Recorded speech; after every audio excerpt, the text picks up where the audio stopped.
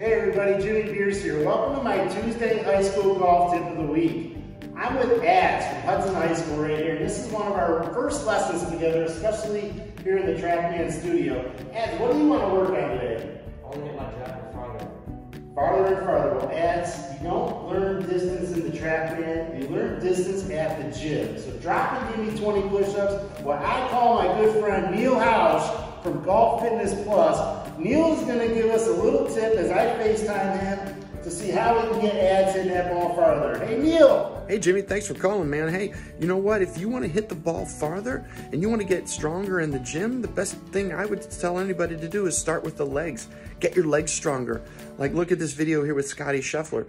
What he's doing is he's getting his legs stronger, but what he's doing is he's actually getting his feet and his calves and his quads and his hips stronger. So all of that strength, all of that energy is going to go up into the golf swing.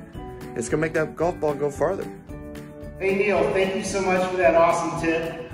And did you learn anything from that? Yeah. Awesome. So all you high school golfers, follow Neal Hausch, Golf Fitness Plus, keep watching our videos, and watch ads as he makes the varsity team this year at Hudson High School. Thank you, buddy.